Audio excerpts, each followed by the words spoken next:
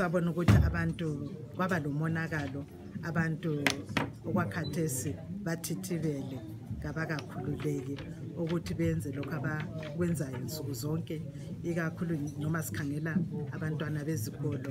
bebengakakhululeki kangako ukuthi baye ezikolo